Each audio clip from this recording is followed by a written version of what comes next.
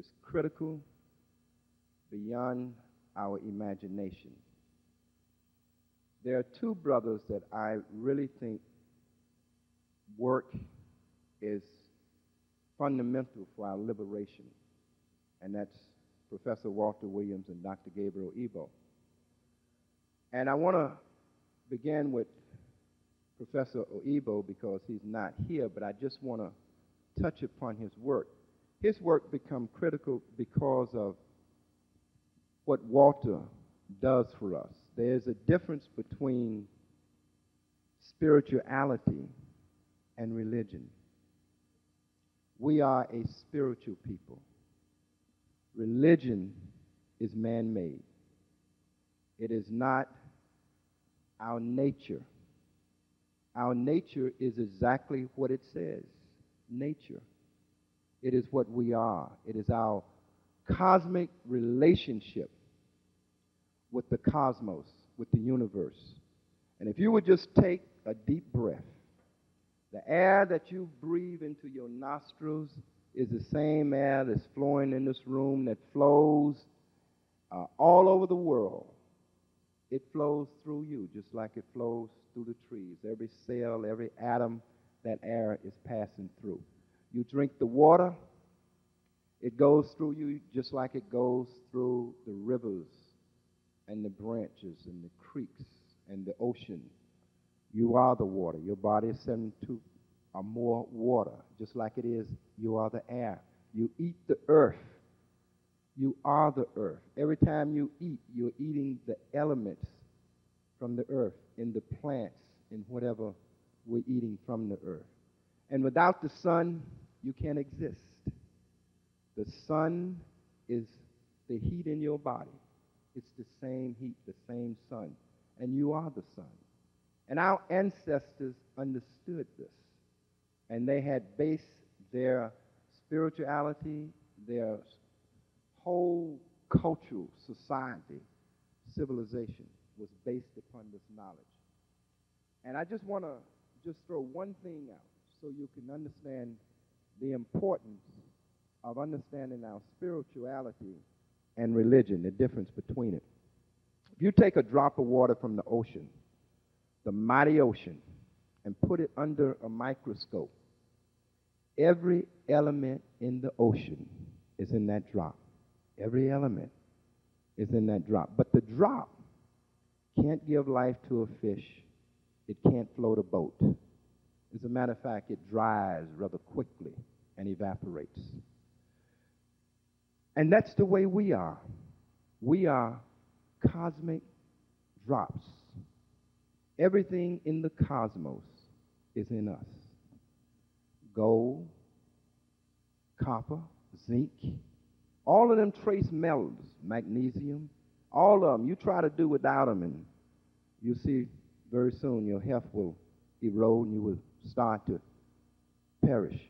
Because those elements in the universe must be current and active and working in your body.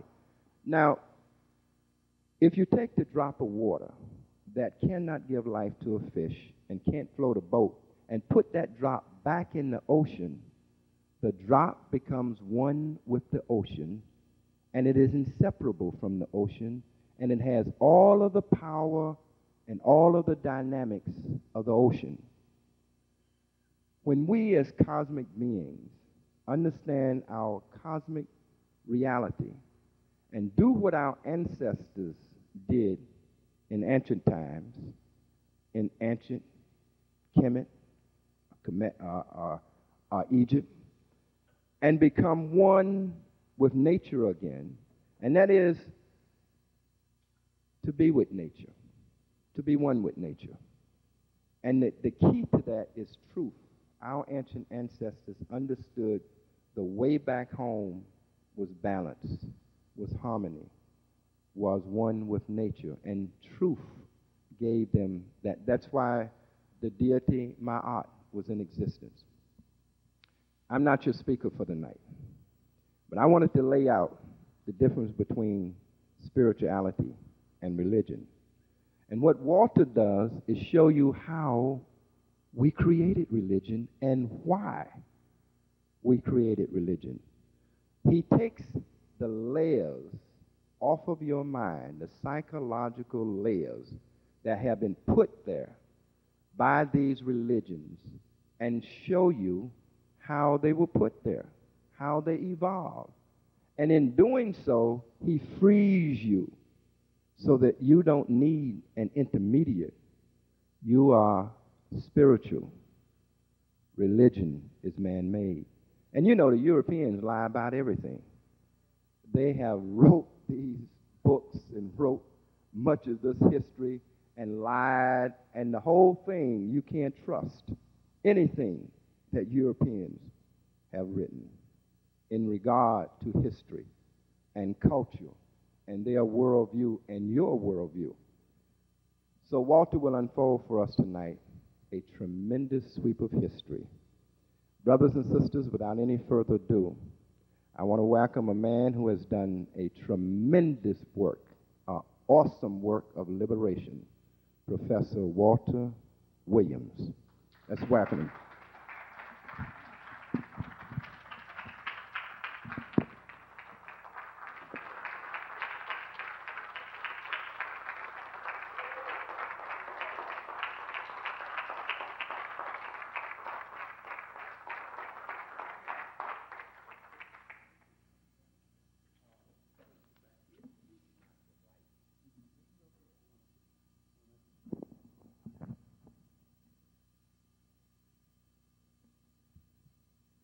Good evening. To to you, Mayat Hotep. Uh, before we get started, I want to give a salute to my wife, Arnetta, who, with her love and devotion and her insight into history, uh, she was the one that really caused this book my new book, The Historical Origin of Islam, to come about at this moment. Other than that, it been it was taking me a little longer to produce this book, but with her love and devotion and uh, stick-to-itiveness, uh, this book came out just yesterday. Okay.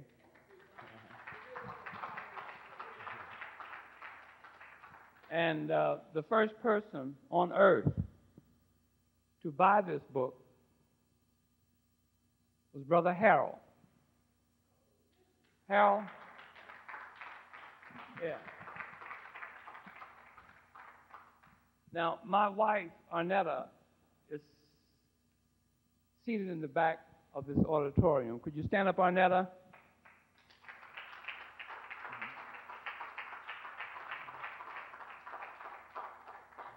Thank you, thank you, thank you so much. Uh, as you know, I'm the author of the book called The Historical Origin of Christianity. This is my first book. This book's been out for 10 years. And the thesis of this book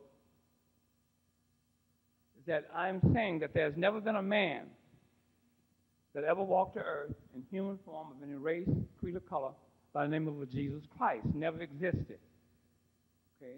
And I'll walk you through the history that created this European image and this man made dead religion, non spiritual religion called Christianity. My second book that came out yesterday, which took me nearly eight years to write, called The Historical Origin of Islam.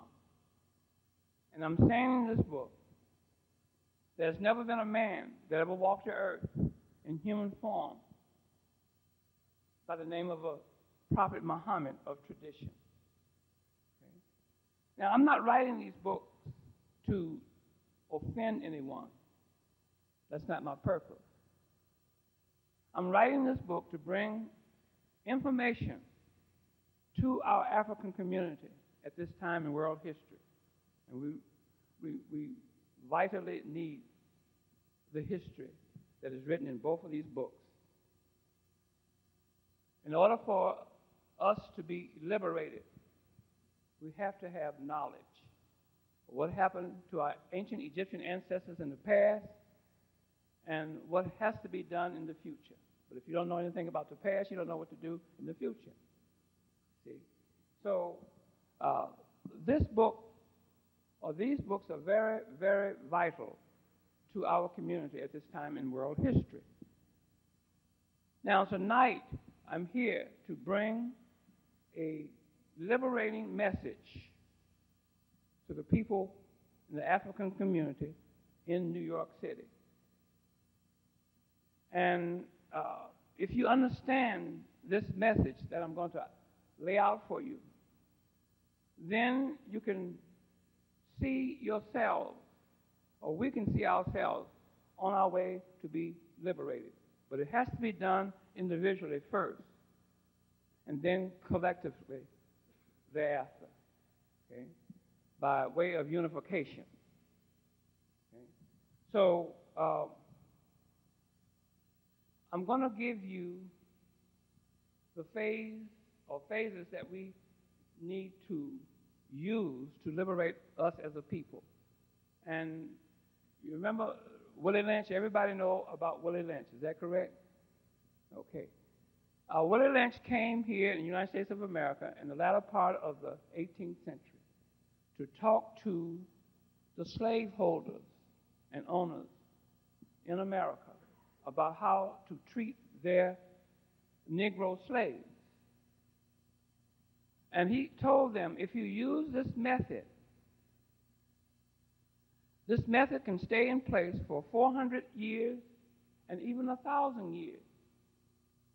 And that method that he taught the slave owners to use against our ancestors and us because it's still being used today at this very moment.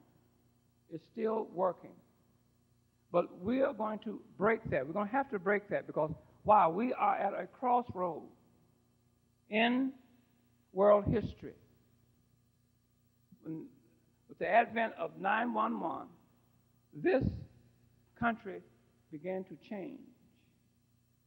With what's going over, on over in Iraq at this very moment, this is causing the whole world to change. So therefore, we in the African community, we have to change too. And the thing about it, that these two books, The Historical Origin of Christianity, The Historical Origin of Islam, it was written for one race of people only. See, I don't sell this book or these books in European bookstores. I don't sell them. They're in African bookstores. It's a message in these books for the African community. See, I don't make a living selling books. You see, so I don't have to go and sell this book to everybody of any race, creed, or color. See, my message is geared to one group, one race, and that's the African nation and African community in the United States of America and throughout the world. But we are going to have to change because the change is upon us. And the whole world is looking at us to make that change. See, we are the Pied Piper of the world, regardless of what you may think as to who we are as a people. We are the Pied Piper. Why? Because the whole world is following us. They're following us. Why do you think they have Soul Train on, on, the, on television all these years? Soul Train been on television since, ever since it looked like ever since I was a little boy. Okay? Don Cornelius got so old his face dropped off. huh? And but Soul Train is there to teach white folks how to dance. Because if they didn't have Soul Train, you know, we, we, we invent and create dances every week. This week we're killing roaches, you know, squish, squash, you know. Next week we're doing electric slide you know. Next week we're doing the boogaloo, and, and so forth and on, so on. But still, so they can't keep up with us. So they had to have uh, something like Soul Train to be used as a demonstrator for them to keep up with our creativity. We are a great people. But now, We're going to have to do something about changing. And the change that I want to lay out will benefit us as a people. The first thing that we're going to have to do is to stop using and calling ourselves Negroes, blacks, and African Americans. No such thing. See? Where are you going with the, the name Negro? Can you go to the world map and pick out Negro land on the world map? No. Can you go to the world map and pick out black man's land on that? No. Can you go to the world map and pick out African American land? It doesn't exist. You're talking about a non existing, non ethical, ethnic people. It's not there.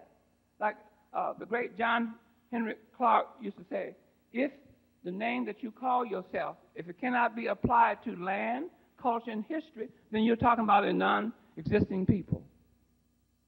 You remember that? So you're going to have to stop calling yourselves black people. You see, this is all over. Everybody's using this black people. If you listen to anybody listen to Tavis Smiley, okay, you know, he's good at saying black folk, African American. Okay? But where, do, where does that take you back? To slavery. That's all. Slaved in America. You see? You pick up the Ebony, uh, Jet magazine.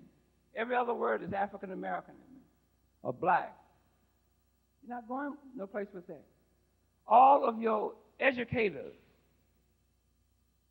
they use the term African American or black.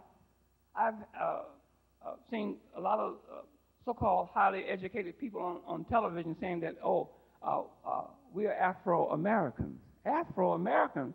Afro is a hairstyle. So how can you be from a hairstyle? Where, where can I look on the world map and pick out Afro American from? It's not there. See? So we're going to have to understand what we are doing to ourselves with the names that we are using. Now, I was uh, giving a lecture in uh, last month in February uh, in Washington, uh, Seattle, Washington, Tacoma, Washington, uh, and then I was in Portland, Oregon. Now, the host that brought me in, I was explaining to him about the names that we are calling ourselves and how, uh, how damaging these names are, such as uh, Negro, Black, and African American. Well, minority is another subject. Okay, that goes into another, another subject. But I say uh, you're going to have to train yourself. You're going to have to go into the bathroom every, every morning and look in the mirror and say, I am an African ancient Egyptian. That's what you're going to have to say. Okay? I am an African ancient Egyptian. Why? It takes us back to our greatness. We're going to have to resurrect ancient Egypt and claim ancient Egypt. Okay? We cannot be an Egyptian. Now, don't let nobody call you an Egyptian, and don't you call yourself an Egyptian. Because anyone of any race, creed, or color can be an Egyptian. The Arabs over there now, those white Arabs, they're Egyptians. The Chinese can be an Egyptian. Puerto Rican can be an Egyptian. Indian of India could be an, an Egyptian. All you have to do is stay over in Egypt for a certain length of time or be born over there, and you're Egyptian. Okay? Like anybody can be an American over here in this country. Of any race, creed, or color. You can be an American. But you cannot be an ancient Egyptian unless you are qualified to be an ancient Egyptian. You know what qualifies you to be uh, identified and called an ancient Egyptian? You have to be African. That's the qualification. You see? You have to be an African. So don't say I'm an Egyptian. Say I'm an ancient Egyptian. Because ancient Egypt is lying in the continent of Africa unclaimed at this very moment that I'm talking to you. Unclaimed. And here we are 40 million or more of us living in this hemisphere, in, North America, without any ethnic identity. None whatsoever. So the glove fits perfect. We cannot go any place. I'm talking about us living in North America. We cannot go to any place in Africa and claim our greatness. It's not there. I'm not trying to knock anybody or Africans, they are brothers. We love them. But you cannot, we from North America cannot go into Africa and claim no place on the African continent and say, I'm home. Can't do it. But there is a space for us, a place for us that's been waiting for us to claim for years and years and years and years and years. And that's the civilization and culture of the ancient Egyptians. The world's greatest people that has ever walked this earth. Okay? During the time of antiquity, they, they were the only people on earth that had a writing system. They were the only people on earth that were literate. They had three forms of writing Medu-Neter hieroglyphics, the hieratic phonetic 1 alphabet, and the demotic phonetic 2 alphabet. And whoever creates an alphabet, that alphabet can only be created one time. So they were the first ones to create a writing system and an alphabet. See? So therefore, uh, they were the only literate people on planet Earth. No other races of people throughout the whole entire world could read or write because they didn't have an alphabet, including the Greeks and the Romans. The Greeks never had an alphabet. That's never been an institution that ever came out of Greece. Why? In order to have an institution, you have to have a writing system. The Greeks were uncivil, uncivilized savages coming into and during the time of their invasion of ancient Egypt. See? Now, George G.M. James put out a book and said that the Greeks studied with the ancient Egyptians. That's not true. Because the ancient Egyptians did not take foreigners into their society. They didn't do that. They didn't take foreigners into their sacred society. Okay? So therefore, they did not study with the ancient Egyptians, but they did study with the Coptic Egyptians. Where? In the world's first Christian church, put up by Justinian and his wife Theodora in Constantinople, which is northeast Africa, misnomer today and called the Middle East. They studied there at the world's first Christian church and the world's first university for the Europeans. But the teaching staff at the Hagia Sophia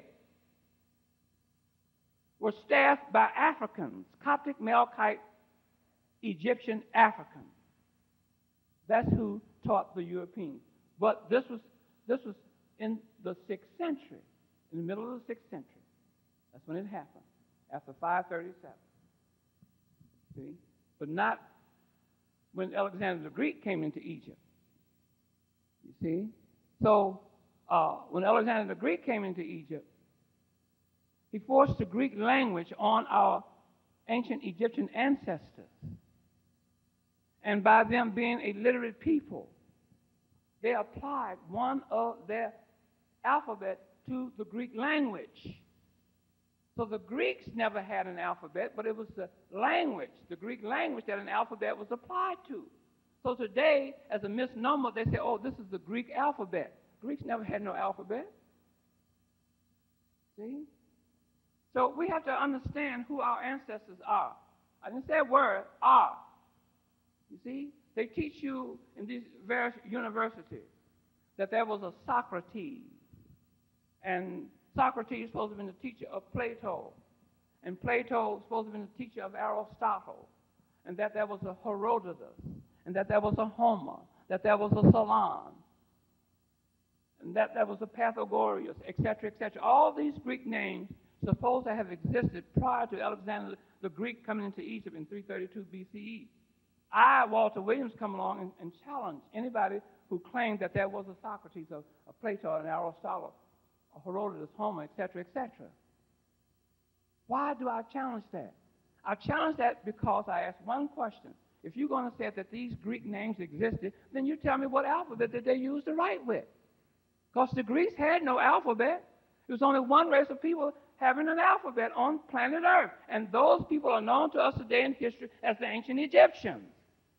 These are our ancestors, but we have to know something about our ancestors in order to be spiritually and racially in tune with them. They are waiting for us to claim them in the continent of Africa. They are waiting for us to come and make that claim. They are unclaimed. The ancient Egyptian culture and civilization is unclaimed in the continent of Africa. Why? Because the descendants of the ancient Egyptians have been taught away from ancient Egypt. How do they teach you away? They, they name you and train you as a Negro. They uh, allow you to come up and call yourself black. James Brown did it. He said he's black and he's proud. And they had a little dance to go with it. See? Then Jesse Jackson come along and uh, told white folks, said, call us African Americans. He said, fine, beautiful. As long as you do not call yourself an ancient Egyptian, they'll call you whatever you suggest that they call you. See? They want to keep you away from that greatness. Because why? Your ancestors, ancient Egyptians, civilized this whole entire world.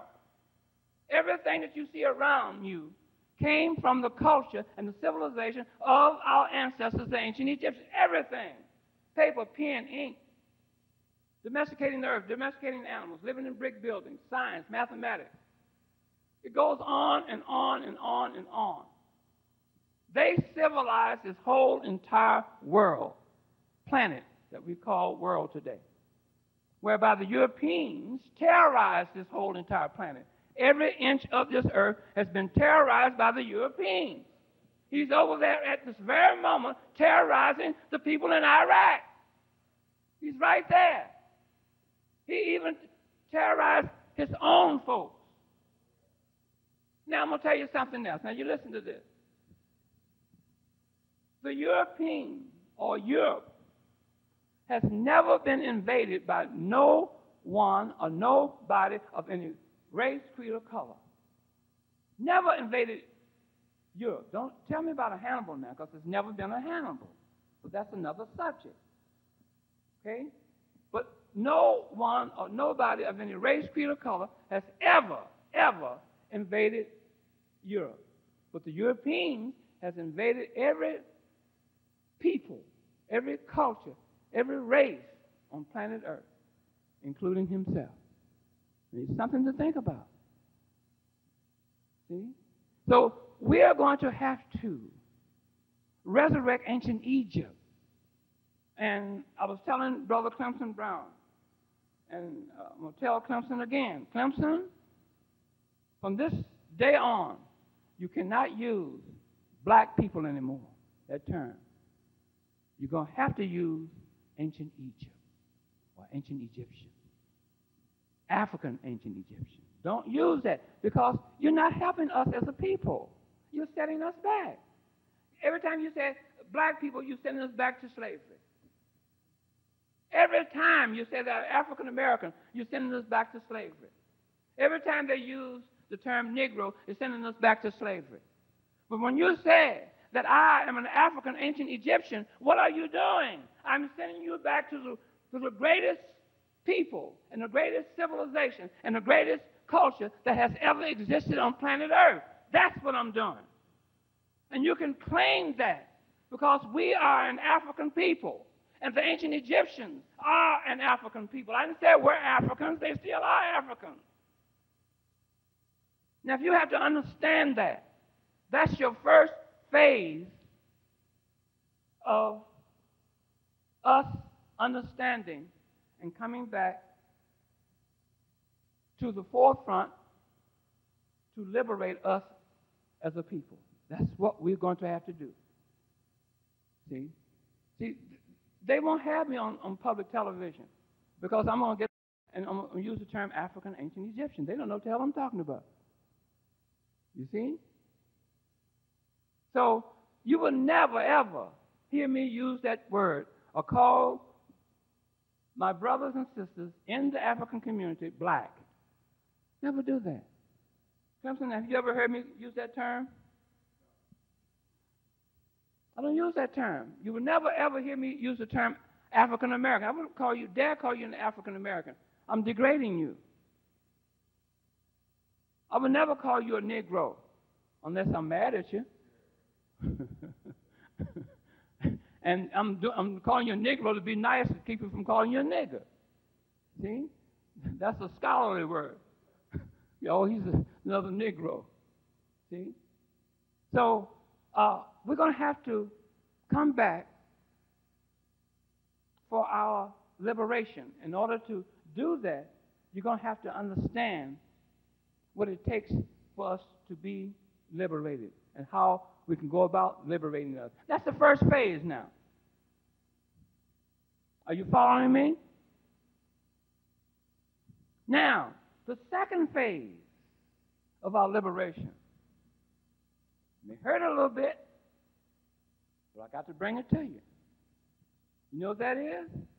We're going to have to divest ourselves from all religion.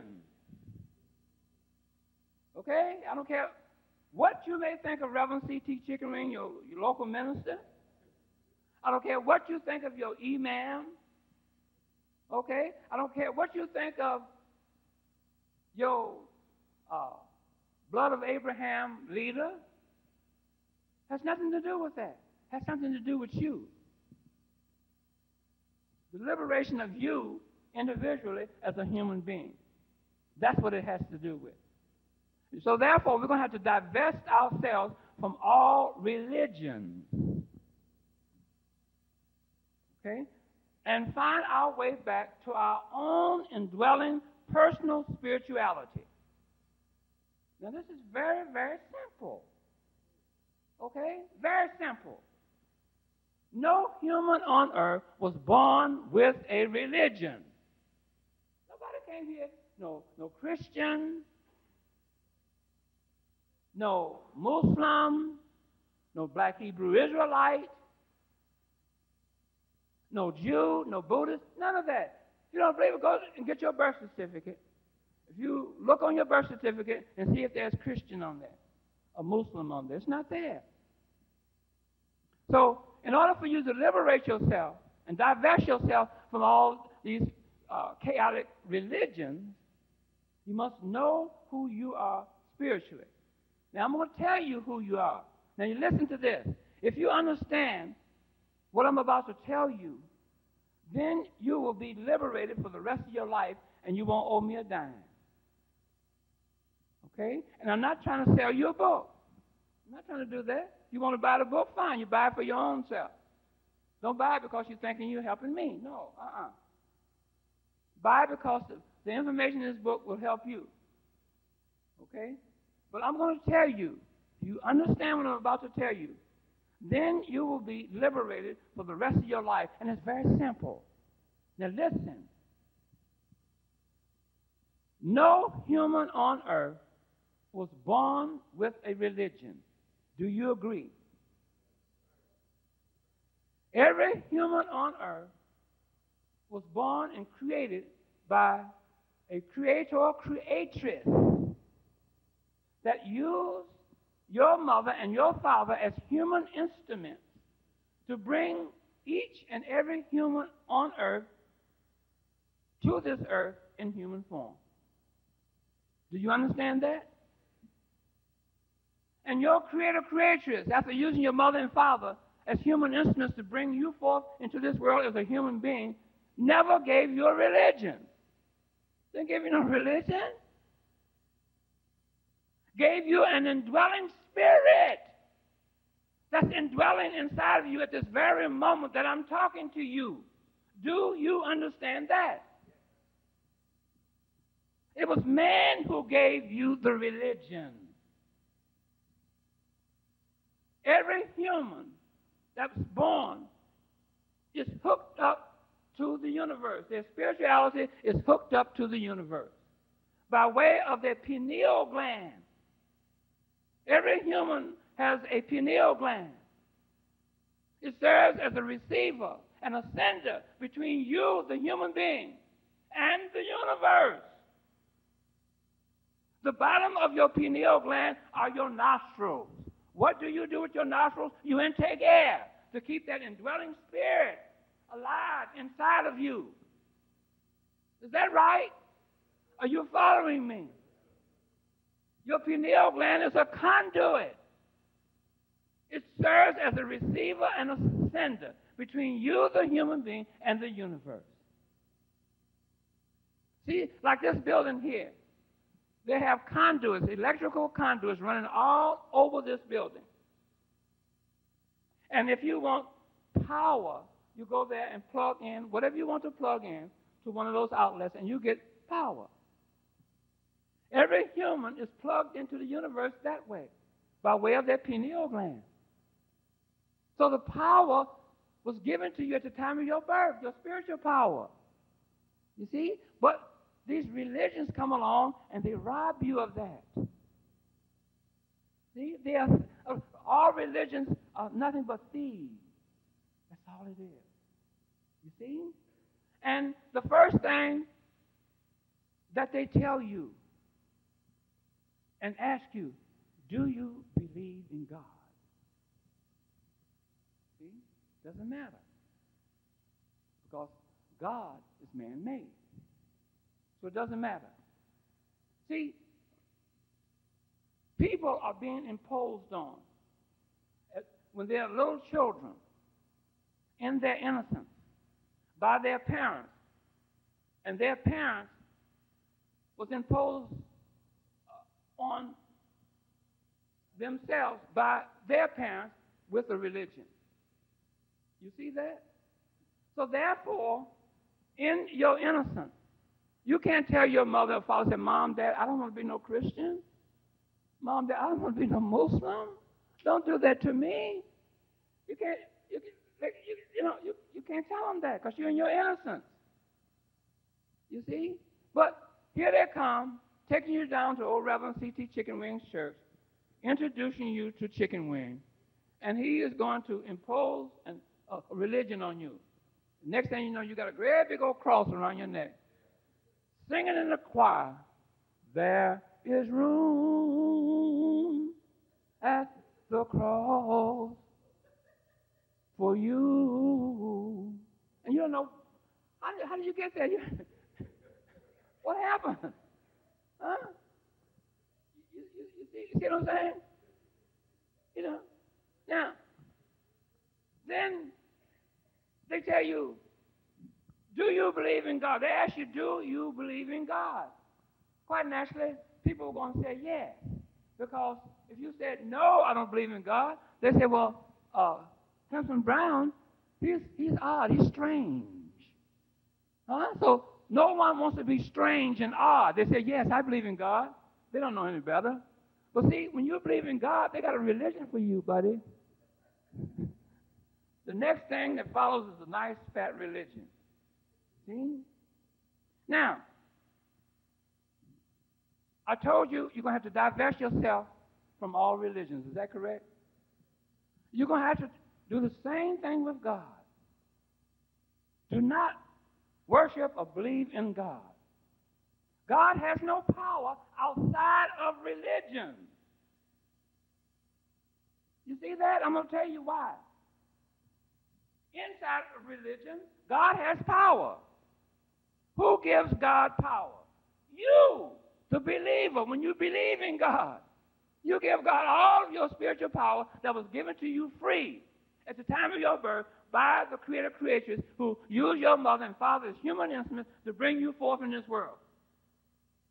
You give all of that uh, power, that spiritual power that you have to God. And God is a man. If you don't believe that God is a man, every time you say the word or use the term God, you say he. his or him. Is that correct? So God is a man. You go and, and look at a program called Touched by an Angel. You seen that program? They tell you, say, uh, God, He loves you. It's He. It's always a He. You see? And then no one has ever seen God, but this, but this only God that you have seen is this European white image. That's the God that you have seen for Christianity. See? So God is a man. God has no spiritual power whatsoever. My wife came to me one day and says, Walter, I'm going to tell you something about God. She says, now listen to this, it's very profound. She said, God is an abstract idea that needs human spirituality to give it life. Without you, the human being, giving God life, God will not have life. You cannot take God outside of religion. God has no power outside of religion. then another thing, why would you reduce all of the creation around us the, the sun, the moon, the sky, the stars, air, water, earth, animals, plants, and humanity down to one man. Down to one man now. And this one man, she's reducing it, God down to, is a white man. Something's wrong with you. What is wrong with you people? Wake up. Damn. Huh? When you embrace a religion, guess what you are doing? To yourself. You are out of tune with the universe. You're not in tune with the universe when you go around talking about them from the blood of Jesus and Islam alaikum and all that foolishness. I'm from the blood of Abraham. Never been no Abraham. How can you be from the blood of, of a biblical character that never existed and walked on earth? How can you do that? That's total ignorance. Now, the reason why people do that is because they don't know who they are spiritually, what they were born with. If you understood what you were born with, you would never, ever allow anybody to come up to you with a religion. You said, no, no, no, no, no, it's okay. Uh-uh, no, leave me alone. Go away. Take your little religion with you. Okay? Don't want it. Why? Because you know who you are spiritually. Everything was given to you at the time of your birth that you would need to sustain yourself for the rest of your life spiritually by and given to you by the creator creatrix. Gave you everything that you would need to sustain yourself spiritually for the rest of your life. So here you are, uh, out of ignorance, out of tune with the universe, talking about I'm uh, walking in, in, the blood of Jesus. You know, that's, that's, that's ludicrous. Now, here you, uh, another thing. Suppose Jews went into a synagogue and they had a great big old picture of Adolf Hitler on the wall. Talking about Heil Hitler. People around the world were laughing at them. Said, what damn fools they are. Here's a man, don't annihilated them, put them in the ovens and everything. They're talking about bow down to Hitler. You see that? You don't need that. You look, don't believe in God. People ask me, say, do you believe in God? I says, no. I don't believe in no God. Why do I not believe in a God? Because I know who I am spiritually. I know who I am. I know power that I have. I know if I believe in God, then God robs me of my power. Because God is a man. Okay? Made in man's own image, not the reverse. So I'm not going to give my power away to some God or no God. I, who do you believe in? I believe in Walter Williams. That's who I believe in. Okay? Now, I'm not an atheist. I know that I am a spiritual human being. Okay? I know that there's a higher power than Walter Williams. I'm not a fool now. I know that there's a higher power than Walter Williams. Okay? I know that something made me. The something that made me, I don't know. And no human on earth can tell you how they got here on earth in human form. Okay? How much education you have, how much money you have, and what station in life you hold. You cannot tell me how you got here. You only found yourself here at a conscious memory in your mind. Now, me, Walter Williams, I can go back to about four or five years old. I remember when my grandfather made me a toolbox for my little tools. Now, from zero to four or five, I have no conscious memory of Walter Williams. Now, I, at four or five years old, found myself living in a certain geographical land area on earth, and that was Chicago, Illinois.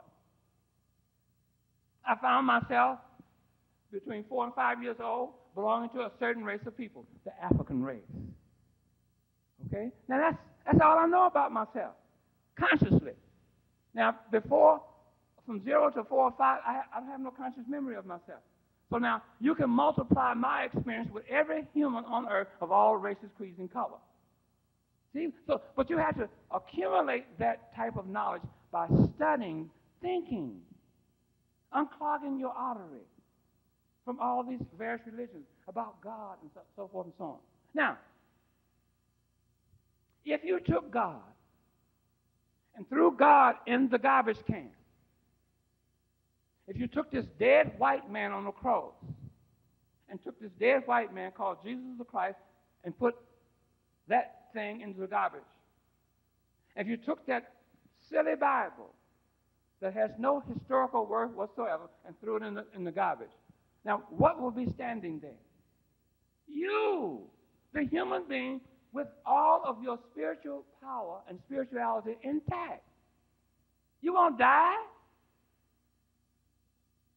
No lightning bolt will come down and strike you. Huh? But you, what you're doing, you're getting all that garbage out of your life. See? In other words, you should be able to give yourself a spiritual enema. You see? You, you know, there's a couple of ways you can give yourself an enema. You can go and get a douche bag and put a little soapy water in there and you know what to do from there. I won't tell you what to do, but you know. and let it all come out. Or you can get a professional, colonic. You see? And they'll do all that for you. And let you see it come out on the screen. You say, see, look, it's coming, all that. God is coming out. The Bible, the dead white man with the cross is coming out. All of that is coming out of you. See? You don't need that in your life. Get rid of it. See, when you embrace a religion, guess what religions will do for you? It will give you side effects. You have side effects. You see, like if you got sick and went to the doctor, and the doctor is going to diagnose your ailment, and he's going to write out a prescription for some type of medicine. Is that correct? And the medicine that he is going to prescribe is going to give you side effects. That's what it's going to do. Why? Because it's man made synthetic medicine. That's what's going, that's what's going to happen to you. So when you ingest a man made religion, these re- religions will give you side effects. The first side effect is confusion. Why are you confused as a human being? Because you don't know who you are spiritually. That's where the confusion comes in.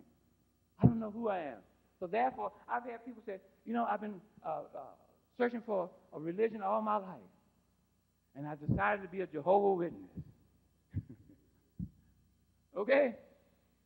Now, why would you? If you knew who you are spiritually, you wouldn't be going around looking for no religion to give your spirituality away. Just give it all your spiritual power. Oh, yeah, I want to be a Jehovah Witness. Oh, I want to be a Baptist. Okay, I want to be a black Hebrew Israelite. I want to be a Muslim. Just give it away. That's out of ignorance. So therefore, confusion is the first side effect when you ingest and take in a religion. The second side effect is that religion, all religions, limits your thinking. Limits your thinking. You agree to that? I'm going to show you. Now, you remember Heaven's Gates, that group called Heaven's Gates? The old, constipated looking white man had these people following him. And he told he told the male members of his congregation to cut off their penis. Huh? You remember that? Wait now. You mean to tell me that you are going to uh, follow somebody and let them entice you to cut off your Johnson? Huh? How are you going to do that?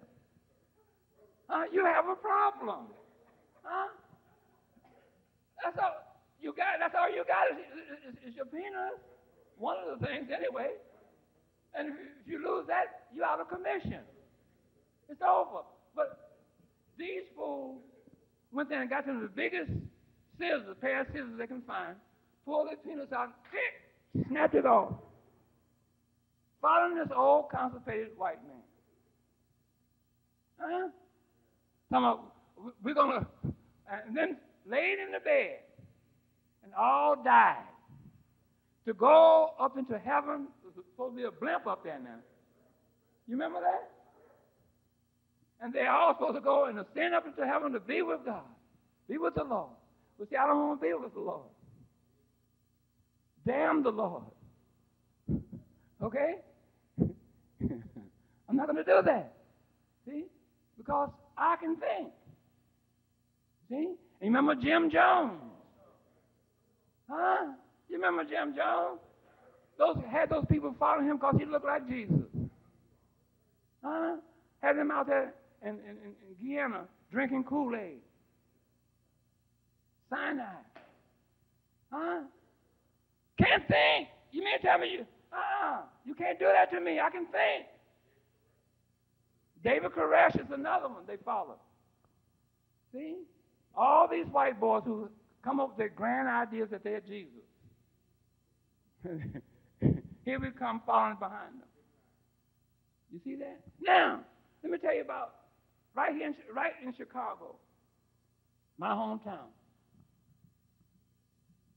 There's a, a, minister by the name of Reverend E.D. Teeny Weeny.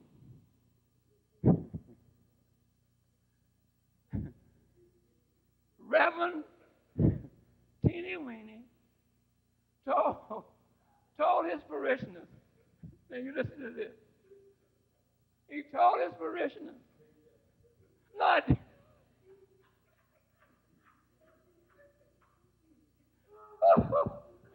Reverend E.D. Teeny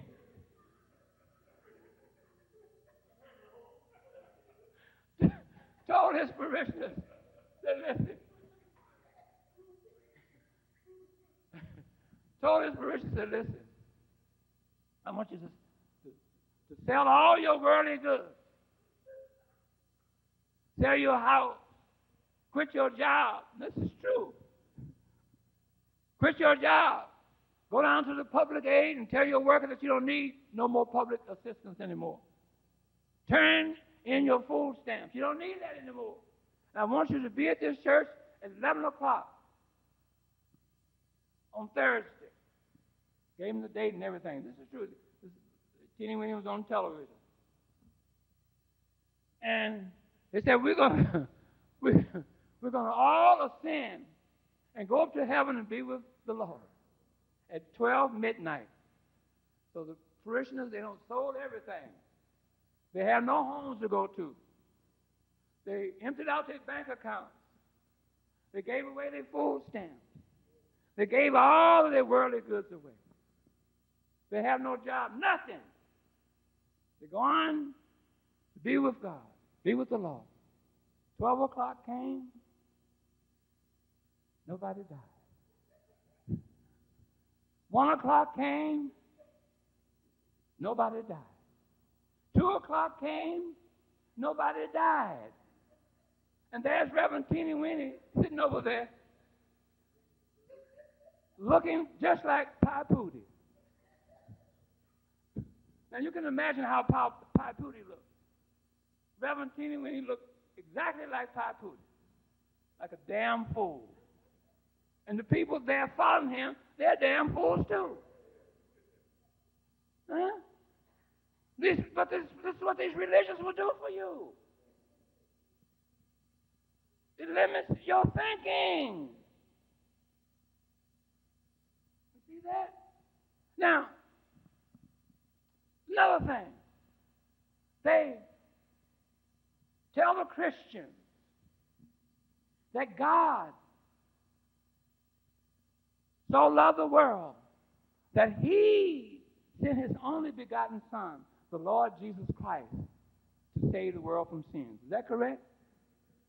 Now, wait now, something's wrong with that. Now, wait now. It says that God sent his only begotten Son. Now, only. That means nobody else can be a son of God but this one son. And this one son is a European white man. Huh? That means that Clemson Brown cannot be the son of God. That means I can't be the son of I'm so glad, but I can't be the son of God. You can't be the son of God. No one in this male in this room can be the son of God. Why? Because your skin is too dark. You're not white. Your eyes are not blue. Your hair is not long and blonde and straight. Okay? So therefore, God is a bigot. It's a racist. Huh? And you sit up there in the pews and let old Reverend C.T. Chickenwing tell you these lies about God so loved the world that he sent his only begotten son. See, and you don't even question him. Say, wait, Reverend, something's wrong with that brother. I can't buy that. Something's wrong. It's racist. You're telling me that God is a bigot. That's all you that's all you're saying. You see? Then they tell the females that you females were made, not created, but made from the rib of a man. And you sit up there in the pews and don't even challenge Reverend Chicken Wing. Reverend, I don't believe that what you're saying. Don't tell me that. Something's wrong with that. You know what Reverend will tell you? Said, Sister, uh, I'm going to pray for you. Huh? Something's wrong with that. Why would you let somebody tell you that? You know any females that's been born from the rib of a man? Without the female, wouldn't be no man. They have a damn rib. Huh? Let's, let's be for real. But they tell you all this foolishness. Then they tell, listen to what they tell the, the Muslims. They tell the Muslims that the angel Gabriel taught the Prophet Muhammad the entire Quran. That the angel Gabriel was bringing a message from God to give to the Prophet Muhammad. And the Prophet Muhammad, being illiterate, that he memorized the entire Quran by memory and then dictated to a scribe. Now, when you investigate, like I did, I investigated to find out who in the hell is the angel Gabriel. You know what I found out? Who? Is it who? No, no, no. Okay, you must have heard my, my tapes or something. But anyway, who said it a bird? Is that Fanny? That's right. The angel Gabriel is a little bird. Do you know a little bird teaching anybody anything? Suppose they had bird teachers at the city college here. You go into your classroom, there's a bird sitting up there. Hi, class. you know, my name is Tweety. huh? I'm Professor Tweety. The little bird. Huh? Now, when you investigate who taught the angel Gabriel, guess who it is? Who said, go ahead, who? The, the, the, the Israfil, the angel Israfil, the six-tongued Herod monster. And they tell these Muslims these things, and they don't question nothing. They believe it. Six-tongued Herod monster called Israfil, one of the angels of Islam. Okay? taught the angel Gabriel. See? And they they believe this. They believe it without question. Don't ask no question, just believe. See, when you believe, that becomes very dangerous to believe in something that you know nothing about. See, I want you to remember this. A belief does not give you knowledge. Remember that. Belief does not give you knowledge.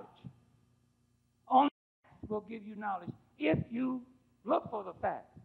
But in order to get the facts, you have to pick a subject and begin to collect information pertaining to that subject.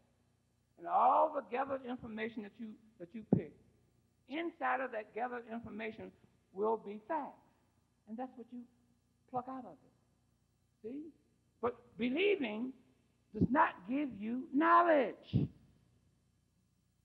You see? So these people going around Islam alaikum, they don't know what they're talking about. Alaikum salam, they don't know nothing about that. Prophet Muhammad, they don't know nothing about the Prophet Muhammad. You see? So Stop allowing these religions to make damn fools of you. Think. Question. Don't let nobody just come up and tell you anything. You are too intelligent for that. Can I allow that to happen to you anymore? Okay? Then they tell the black Hebrew Israelites and the Muslims that Abraham was Woke up one morning and he was horny. He was horny. And he wanted to have a baby. He went to his wife Sarah and said, Sarah, I, uh, I want you to have a baby for me. She said, Man, I'm 85 years old. I can't have no baby days is over with. This is how the story, this is how the traditional story goes. They say, she said, you go and get your handmaiden Hagar and she will have a baby for you. Now, mind you, this is Abraham, 100 years old, and he's horny. But now they didn't have no Viagra back then. Okay? No Viagra. But all of a sudden, he's, he, he's got a hold of Hagar. And he, here comes a baby from Hagar named Ishmael. You know, the Muslims love to twist their mouth all and say Ishmael. Like it's so grand. Ishmael. Uh, see? And then it goes on to say that Sarah somehow mustered up enough strength to have a baby for him by the name of Isaac.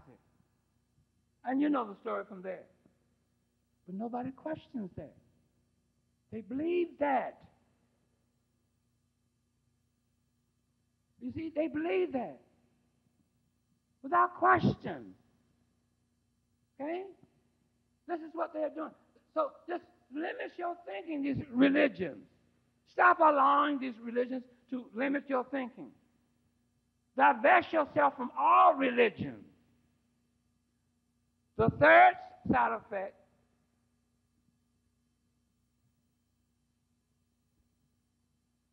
that these religions will give you it will give you and make you animate these various religions in your subconscious mind. Now, where's your subconscious mind? Right in your midsection. That's your feeling section. That's where your love for others and yourself come from, etc., etc. See? So these, now, how, how do you uh, animate these various religious supposed events. When Reverend C.T. Chickenwing tell you about Jesus got crucified on the cross, okay? And you can see in your mind now the crucifixion of Jesus Christ carrying his cross on Calvary. Is that right? You begin to animate that. Is that right? Because that story has superimposed on your subconscious mind. And you become the animator. You see? And then when they tell you at Christmas time that this Jesus was born in a manger, that Mary and Joseph went to Bethlehem And the innkeeper said, We have no room for you in the inn. And they went out and they found a manger. And three wise men appeared from the east, bearing gifts to this baby Jesus. Now, you begin to animate that. You see? You become the animator. That's like, you know, in Chicago, on Saturday mornings, the television is loaded with animated cartoons for the kids. And you see horses talking and dogs. Oh, hi, Mike. Can you come out to play? See? But they, the animals, animated. We do the same thing when you embrace a religion. You become the animator. That's your third side effect. The fourth side effect is fear. They tell you if you do not believe in the Lord Jesus Christ, you're going to die and go to hell. Your soul is going to burn up. They tell you that. It's fearful. Make you feel you go and grab that Bible. See? And start thumbing through and get that cross with that dead white man on it. You what I mean? I got to get close to Jesus. You see old Reverend Chickenwing? Mm-hmm, yeah. Huh? All that emotional foolishness. You don't need that in your life. Huh? Okay, I heard that. You don't need that in your life. What do you need with a religion in your life? Were you born with a religion? Huh? Uh, let me hear you loud. Okay.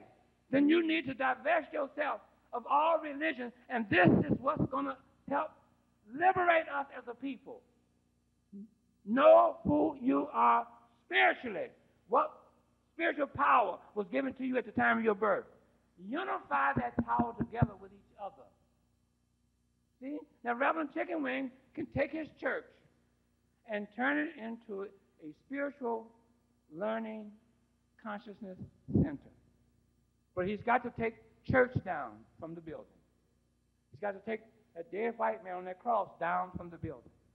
He's got to take every Bible that he can find and, and, and sit it down in uh, uh, and throw it in the garbage can. That's what he's going to have to do. Okay? He's going to do that. You see? So, uh, what I'm saying to you, I gave you two phases of our liberation. Is that correct? If you understand that, and if you use those two phases and teach it to your children, and, and, and their children will teach it to their children, and on and on and on in the future, we will have a different people on earth. We will be a different people. Then the world will look at us with a different eye. You see, like I mentioned before, we are the Pied Piper. The world is following us. You see? Every time we go to the bathroom, they are there with a big net to catch it. And then take it back to their laboratories and see what, they, what the Negroes did today. See? See if they can learn something. See? See? Then, then again, we, as Negroes, term which I don't use, but if these white folks have put this Negro stuff on us, we're the greatest Negroes that has ever walked this earth. And you think about that. We are still the greatest people that ever walked this earth, right at this very moment that I'm talking to you. Huh? No, no, they can't beat us. Can they out tap dance us? Huh? Can they out basketball plan, play us? Huh? Can they out uh, golf us? Can they out tennis us? Can they out box us? Huh? Can they, can they out play music better than we can? Can they, can they dance better than we can? No. They can't sing. They can, everyone, you look at the American Idol, everyone knows white kids get up there. They, they got to go to Negro 101 and learn how to sing. Got to take lessons. And they come out there without, they speak in one way, oh, hi there, and I, uh, so and so, and you know, and then they get out there and say, oh, baby. Wait, hold it. What happened? Their voice. They don't change their voice. Is that right? See? So we are the greatest Negroes that has ever walked this earth. Great people. But we don't we don't have to be Negroes because there's no such thing. Who are we? We are descendants of the greatest people that has ever walked this earth, known to us today in history as the ancient Egyptians. And when you go and resurrect and claim ancient Egypt, then you will be identifying with yourself, with the greatest people that's ever walked this earth. See, the descendants today are not claiming ancient Egypt. The Ethiopians, they're descendants of the ancient Egyptians, but guess what they call themselves? Ethiopians. Long as they call themselves an Ethiopian, what happens? Ancient Egypt is lying unclaimed in the continent of Africa. You see that? The next descendant is the ones that live in the Sudan. You see them today? Say, who are you? I'm a Sudanese.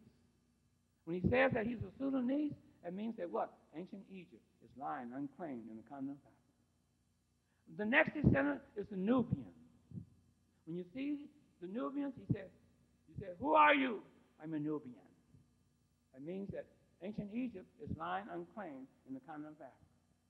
When uh, my group went over into Egypt in 1992, a plane landed in Cairo, Egypt. And when we landed in Cairo, Egypt, the Nubians, as we descended the airplane, began to greet us. Americans, Americans, I'm Nubian. You're my Nubian cousin. I said, wait, hold it. I said, I am an ancient Egyptian, and you're my ancient Egyptian cousin. He says, no, no, no, I'm Nubian. Now that told me that this Nubian living in Egypt, waking up every morning looking at the greatest edifice that's ever been built on earth, the Sphinx and the pyramid, don't identify with ancient Egypt. And, and, he's, he is either a Christian or he's a Muslim. That's a damn shame. Now you think about that. And this ring, I have a, my wedding band that my wife gave me. On this wedding band is a ring of onyx. See it right here, beautiful.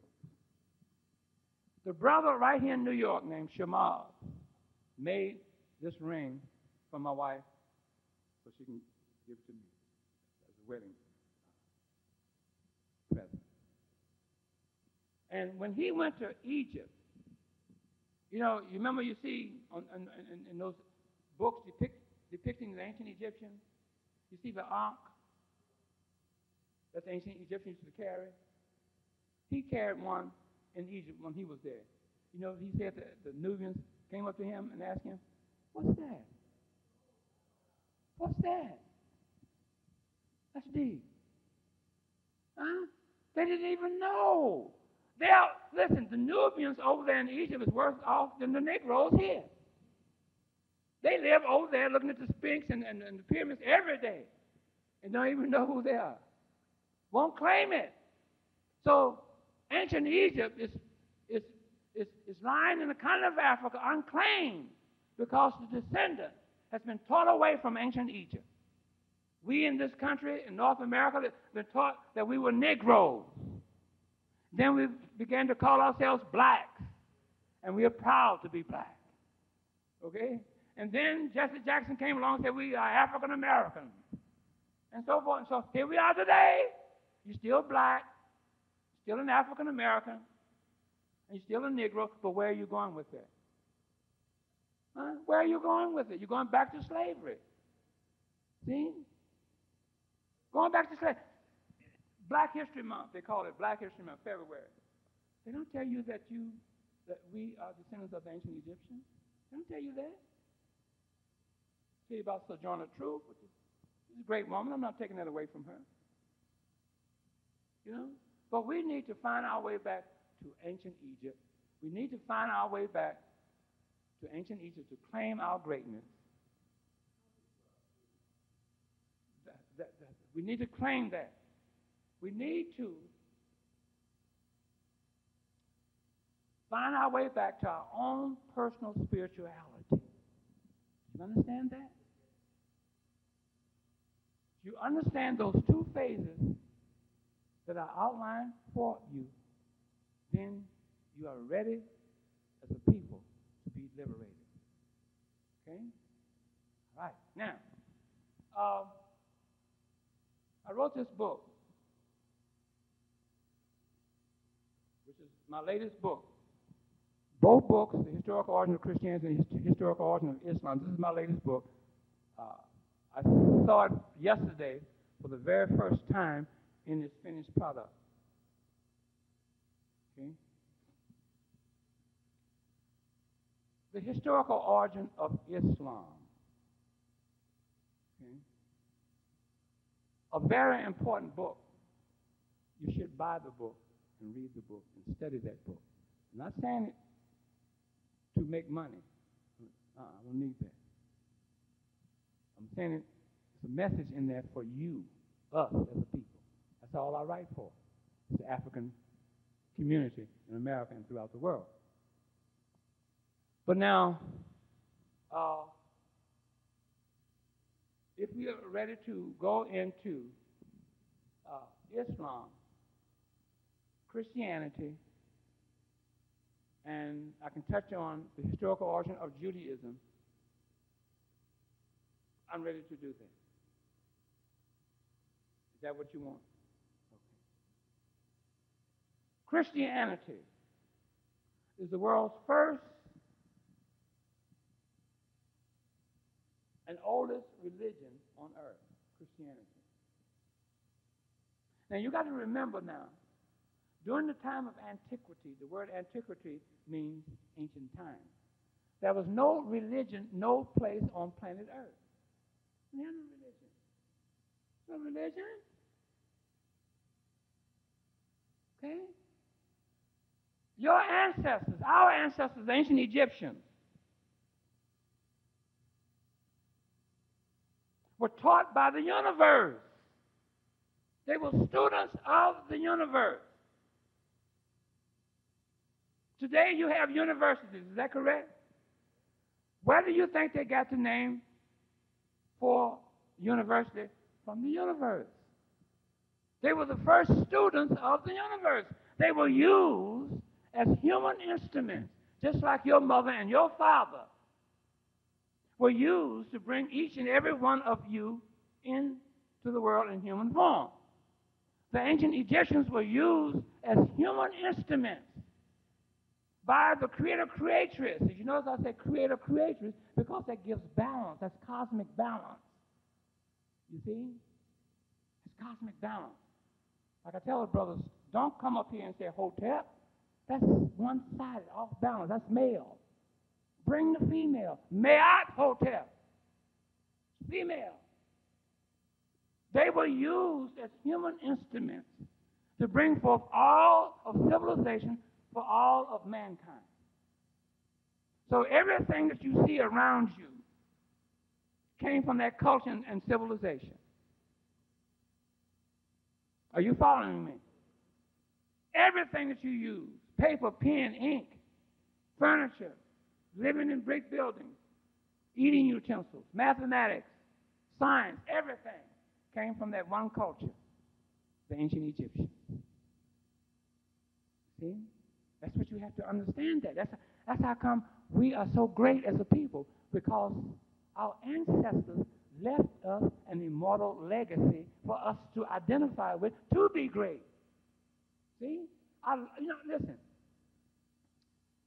Uh, I have a sweater, I mean, a sweatshirt and a t-shirt that I wear that I made up personally. I didn't wear it tonight.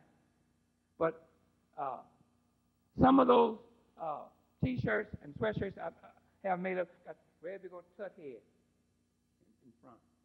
Some of them have the, the pyramid and the sphinx there.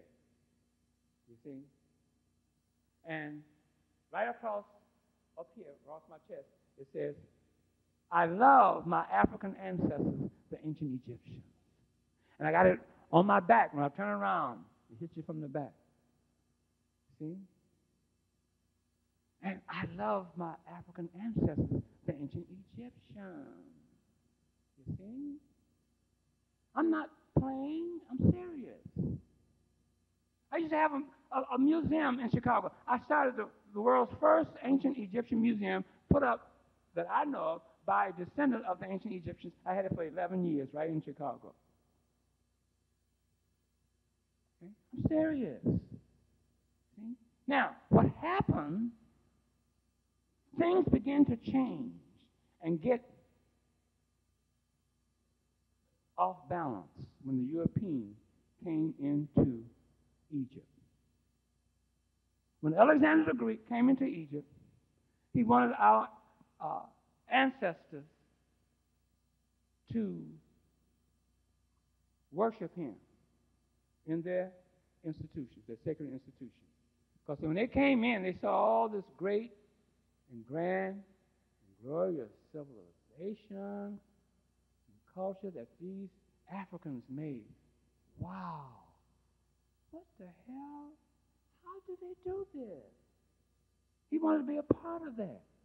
But in order to be a part of that, he had to be accepted into the ancient Egyptian sacred society. You see? He had to he had to sit on the throne of Isis. If you do not sit on the throne of Isis, you have no authority in ancient Egypt. Because sitting on the throne of Isis is sitting in the lap of Isis, on her lap. See? That gave you the authority to be the Pharaoh or the governor of ancient Egypt. You see that? He wanted that. But they didn't accept foreigners into their priest society. So Ptolemy I, Lagi, his successor, as he died in 323, came and took over Egypt. And he became the ruler of, of, of the ancient Egyptian. And he wanted to get himself accepted into the priest society. They didn't allow that.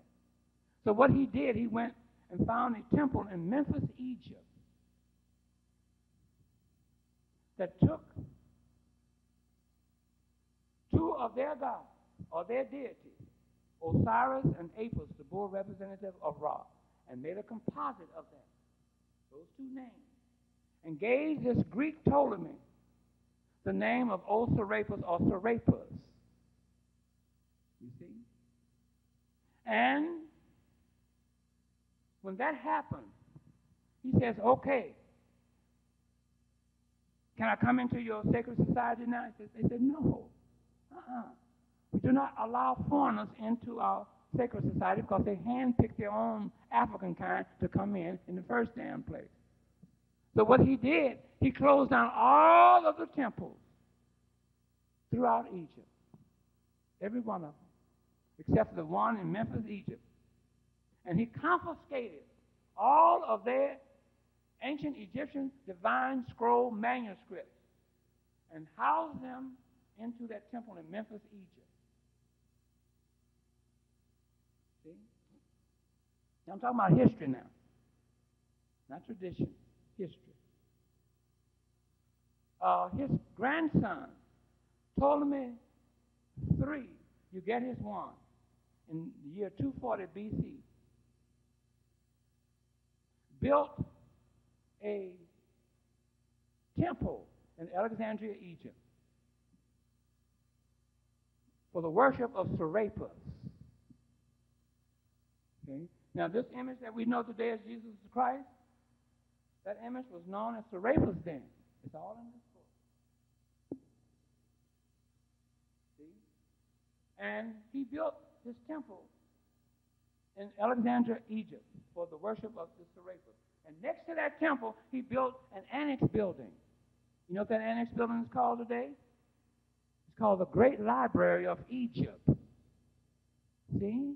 And he took all those divine scroll manuscripts from that temple in Memphis, Egypt, that his grandfather had put there after he closed down all the temples throughout Egypt and housed them right there in this library. And that's what made it the great library of Egypt. Not the damn lie that they tell you that Aristotle, the teacher of Alexander, wrote hundreds of books, and Alexander housed Aristotle's books in the great library. No, uh-uh. It's in the book. I'm telling you different. Now, let's move a little further in history about this image that we know today as Jesus the Christ. You had two factions. You had the Melkite Coptic Egyptians. Those were the uh, Uncle Toms of antiquity. They were right there with the Greeks. Yasabal. And then you had the grassroots, exterior Copts, like we are. See? The, the, the, the Melkites wanted our grassroots, uh, us grassroots Coptic Egyptians, to accept this image that we know today as Jesus Christ, then known as Serapis. Wanted us to accept it. We said, no, uh-uh. No, no, no, no. See? Now, I'm going to jump in history. We come up to the time of a Coptic Egyptian by the name of uh, Arius. Uh, we're going to come up to the time of the donation of Constantine. We're going to come up to the uh, time of the Dionysius schismatic controversy. We're going to come up to the time of Arius. All three, the Dionysius schismatic controversy, the donation of Constantine, and the strong statement by Arius, you know, you know that happened? That brought about the Council of Nicaea I, or the Nicene Council, was called to come about. That's in my book. I'm the only scholar that I know of that's telling you what caused and what brought about the Nicene Council. Those three historical events the Dionysius Schismatic Controversy, the donation of Constantine, and a strong statement by Arius. When uh, Constantine gave and enticed Sylvester a Coptic Egyptian, to accept this image that we know today as Jesus Christ, then known as Serapis, as God.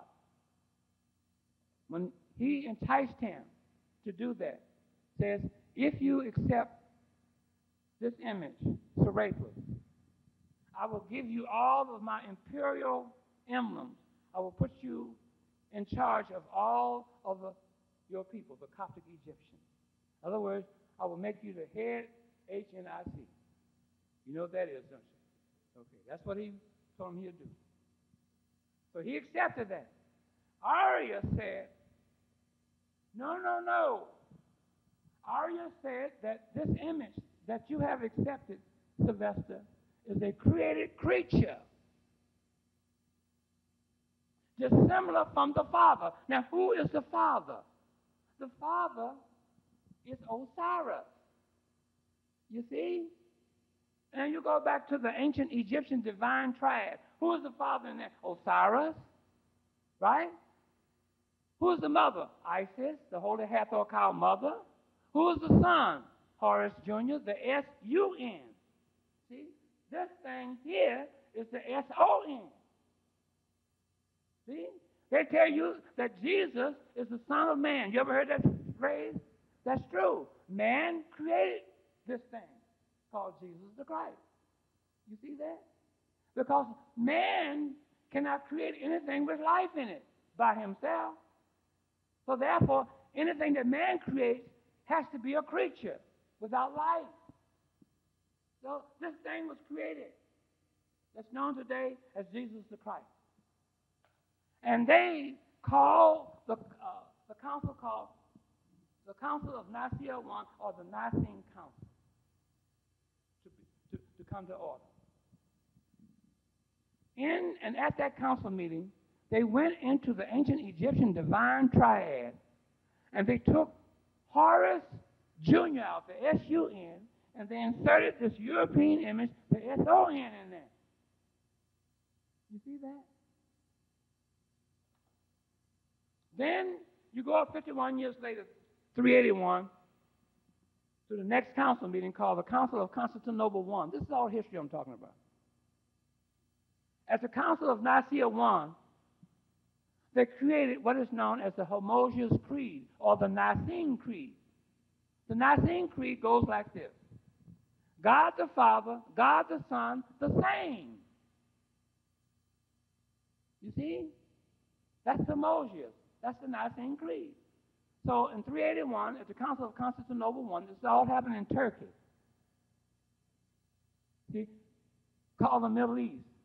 That's, that's a misnomer because the Middle East is actually northeast Africa, part of the African continent. So at the Council of Constantinople I, they made the homogeneous creed of God the Father, God the Son, the creed of the Byzantine Roman Empire. Now, let's modulate a little further in history and come up to the third ecumenical council, the most important council meeting that has ever been called on planet Earth. That council meeting was called why? Because the monophysite, the monophysite is an individual who says that this Jesus the Christ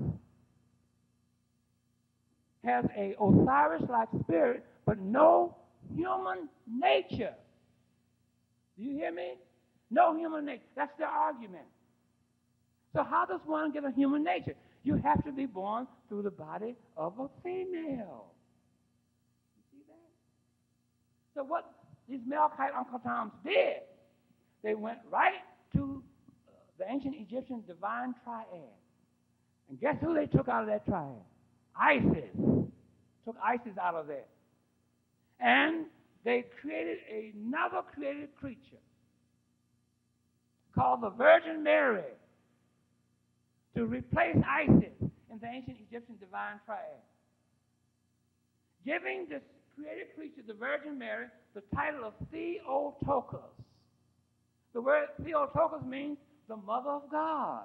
God who? Talking about this Serapis that is known to us today as Jesus the Christ. Then they took the two created creatures, Serapis, and the other created creature, the supposed mother, called Ice, I mean called uh, the Virgin Mary, with her title of Theotokos, and they amalgamated the two created creatures together. And when that happened, this is supposed to give this created creature Serapis, known to us today as Jesus Christ, a human nature. You see that? Very clever. See? And when that happened, the Melkite Coptic Egyptian says that now this is the anointed one. This is uh, the Choristos. Now, those, remember now, those Coptic Egyptians were speaking Greek because the Greek language was forced on them. So in English, Christos means the Christ. Now this is the Christ. You see? Then you go to the fourth council meeting, the Council of, uh, Chalcedon. And what they did there, they've tried to consummate what took place at the Council of Ephesus 20 years prior.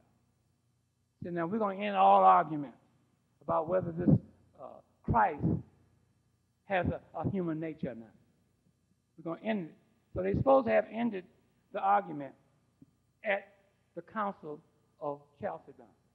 And that, at the close of the Council of Chalcedon in 451, that was supposed to begin the very beginning history of Christianity.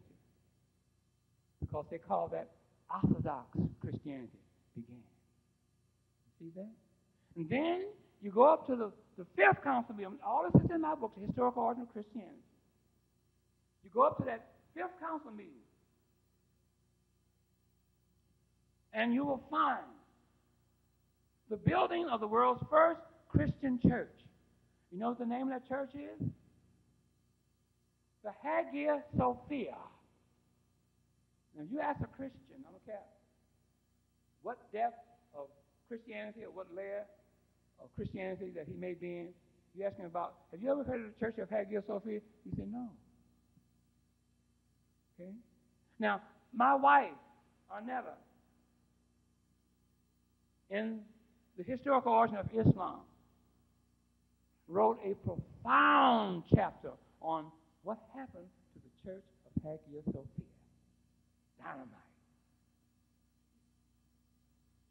So it, the church, world's first Christian church, the Hagia Sophia, built in 532, finished five years later in 537, built by Justinian and his wife Theodora, the Byzantine emperor. But it was the Coptic Egyptians who built it. Because the Europeans didn't know about building no building. It was the Coptic Egyptians who built it. They designed the building. And uh, that building is still standing today. There it is right here. Got four minarets on there today. But this picture here, in the background, is the church of Hagia Sophia, built in Constantinople, Turkey. Okay? And, and, and built by those Africans, those, those, those Melkite Coptic Egyptians. Now, Coptic, the word Coptic Egyptian, you know what that means? A descendant of the ancient Egyptians. That's what the word Coptic means. So if you hear that word Coptic Egyptian, I'm talking about a descendant of the ancient Egyptians. You see? So they built it. And guess what? The, the Hagia Sophia not only became the world's first Christian church, it became the world's first university for the Europeans. That was his center of learning. Not what George G. M. James tell you that the, that the, uh, the Greeks studied with the ancient Egyptians. No. How can they study with the ancient Egyptians? They had no writing system. That's never been an institution that ever came out of Greece during the time of antiquity.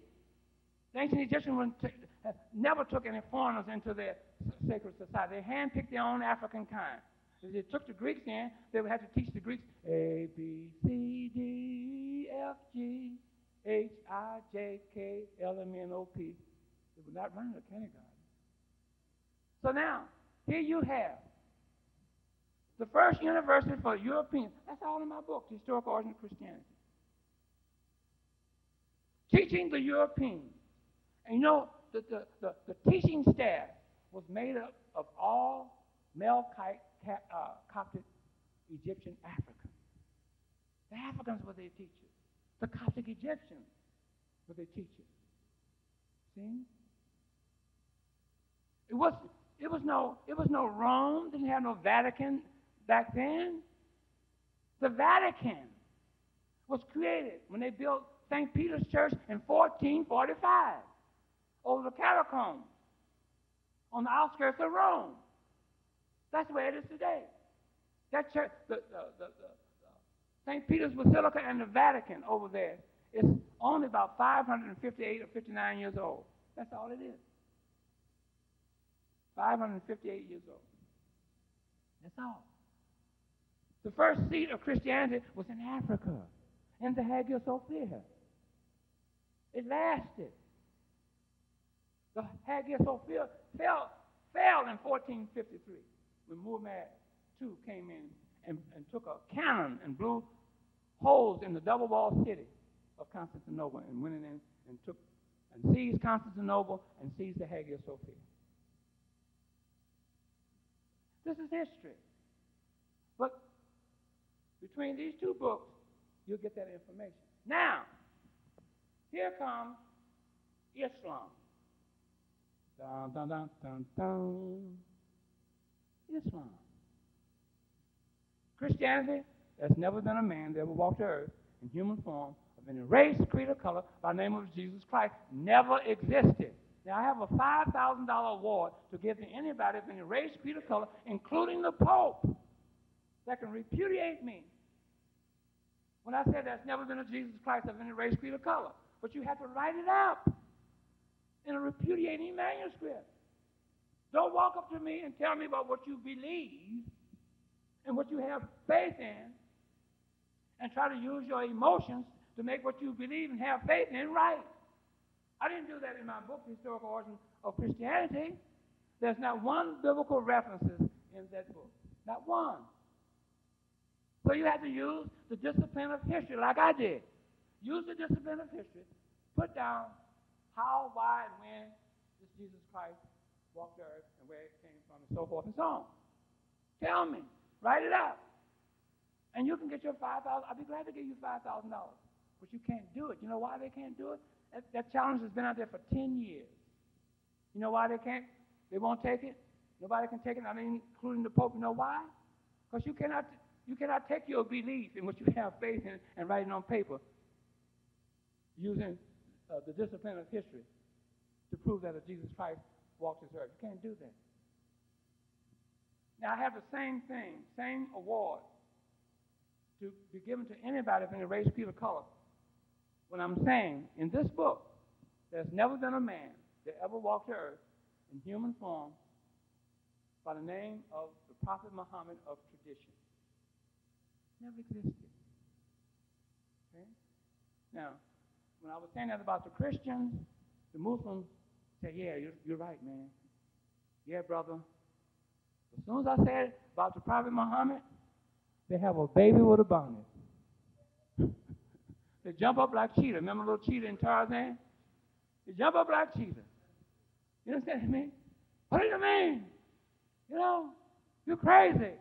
You know, and all that other kind of stuff. You know, I was giving a lecture one day in Chicago, and the brother, he was a Muslim. He said, I was saying there's no Prophet Muhammad. He said, you should be ashamed of yourself telling these people all these lies. I said, okay, young man. I said, I'll tell you what you do. You come down get up on the podium, and you point out what lies I'm telling to the people, and you put what's right in its place. See, don't see. I can tell you that you're wrong, but I'm going to put something what's right in its place. See, that's it, isn't it? I can't say, "Oh, you're wrong," and leave it at that. Why am I wrong? Okay, what do you have to say that I'm wrong? What you have to put in this place? I ask that. I ask that. Uh, call him a Negro. You know what I mean? I'll tell you what my definition of a Negro is. I, he, I asked him four times. I said, come on up here. He wouldn't do it. And he got mad, and he called me a nigger and walked out. I became a nigger. okay, fine. But anyway, here we have this faceless white man on a, on a, on a camel called the Prophet Muhammad.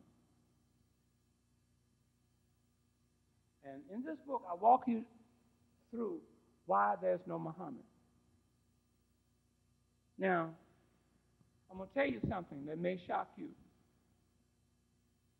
Islam, I want you to understand this now very carefully. Islam is a religion that's based upon a book called the Quran. If you do not have the book called the Quran, you cannot have Islam. Simple as that. Now, before the book called Islam came about, there was Mohammedanism. See that? But not Islam. See? But they, the Muslims don't, they, they want to investigate. Now, they, they believe that the angel Gabriel taught the Prophet Muhammad the Quran. I told you about that, didn't I? Right. Supposed to have been in the, in, in, in, in the seventh century. Okay? Now, Islam, like I said before, is a religion based upon a book called the Quran. Without the Quran, you have no Islam. Do you know when the Quran was first created? No, no. Then you're going back. You you you you said 642. Then you're saying that there was a uh, Muhammad. Never been a Muhammad. As tradition says that. Okay. The Quran was created, began in in 1870 in the region of northeast Africa called Syria. See that? And it, it was finished 49 years later and accepted by the Mohammedan world in 1919. This is history. I'm not talking about tradition. I don't deal with tradition. Hmm? No such thing as AD. ACE. See, AD means if I said yes, then I was I'll be saying that that was Jesus Christ. They said Anno Domini after the death of our Lord. No, I'm not saying that. ACE after the Christian era. Okay? finished in 1919, 49 years later, accepted by the, the Mohammedan world. Okay? You know who created the Quran? I want you to listen. Is everybody listening? Huh?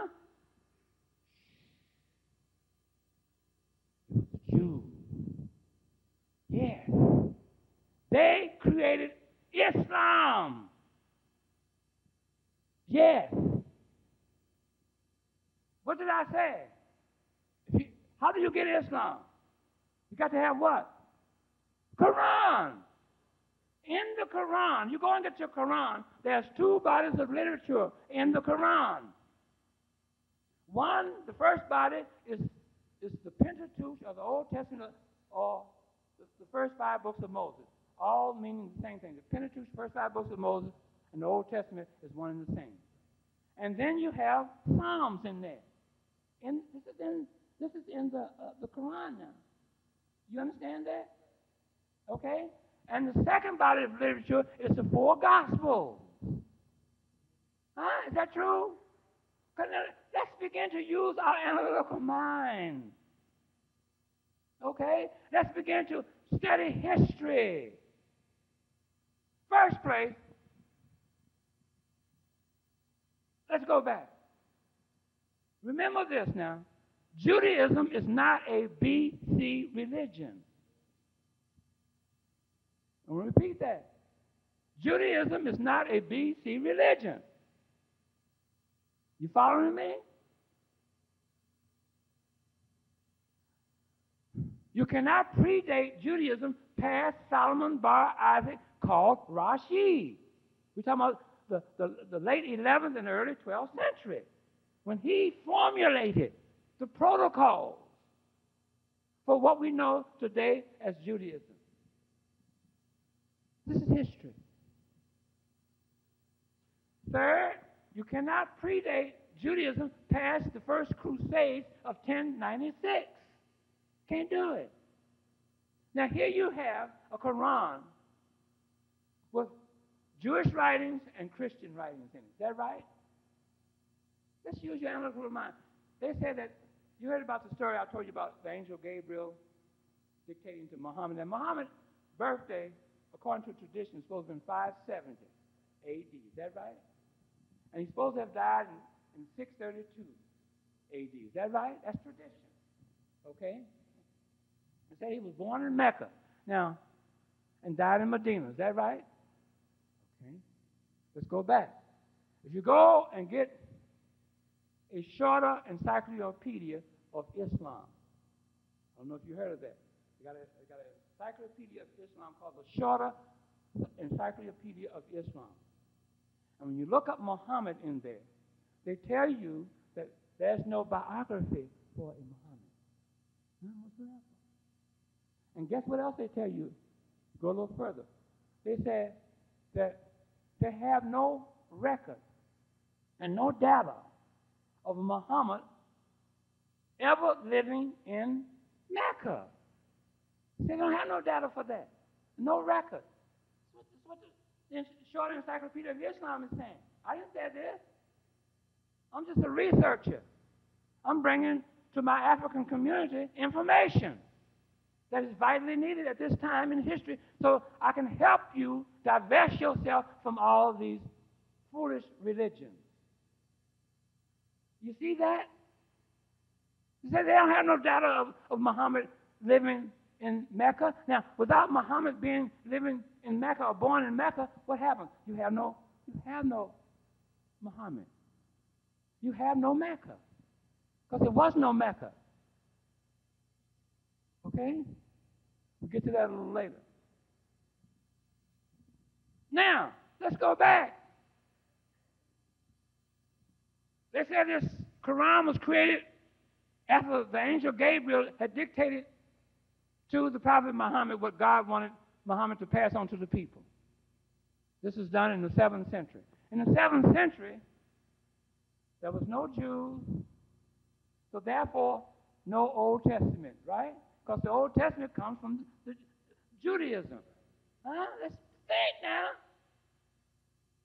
In the 7th century, there was Christ was there being worshiped, but it's never been a Christ, but Christianity was there. But in, in the seventh century, Christianity did not have any, any written literature. We didn't no written literature in the seventh century.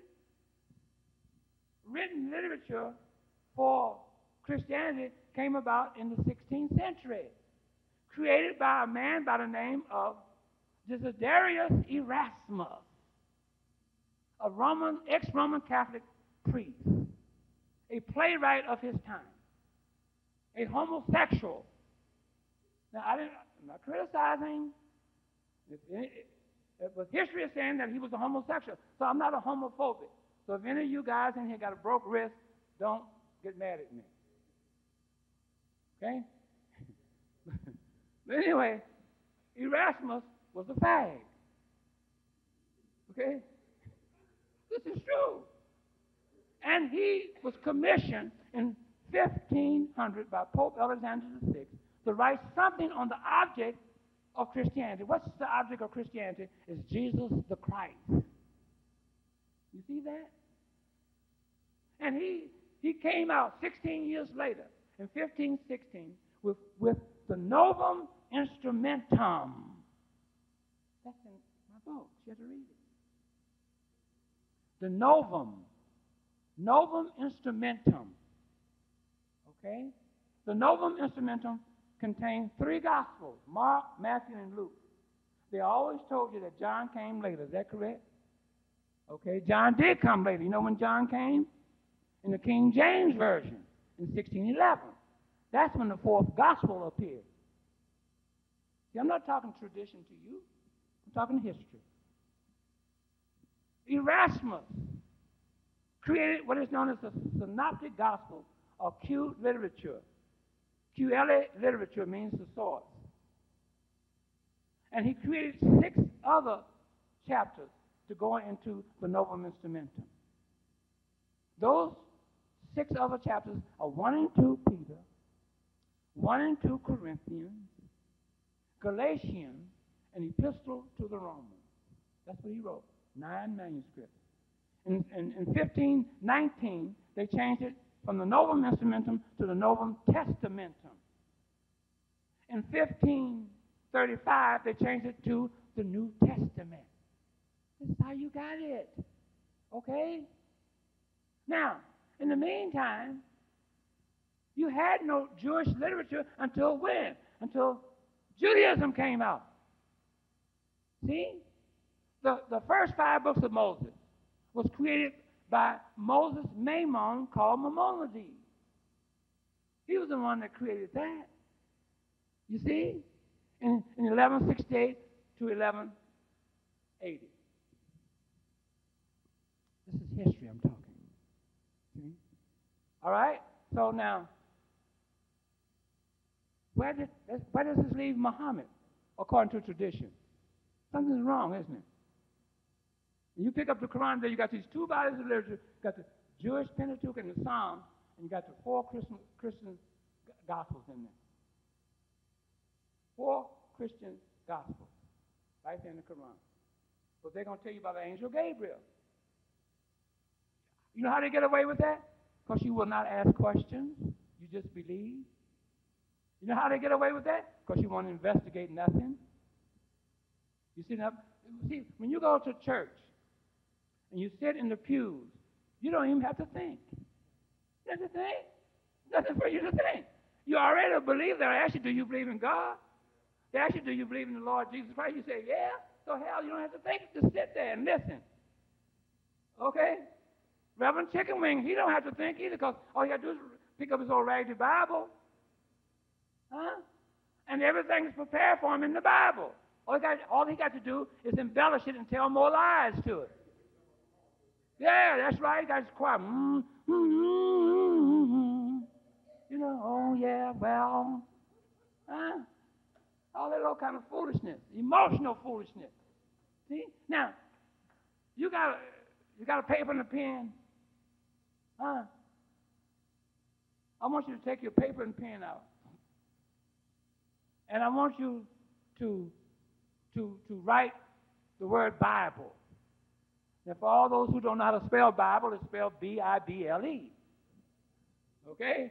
I know you all go to college now. I'm only having fun with you guys, okay? At the same time, we, we're learning things.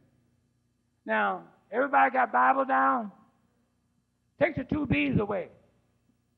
And what do you have? I, L, and the E. Is that right? Put the I between the L and the E, and what you got? That's what the Bible is a damn lie. Okay?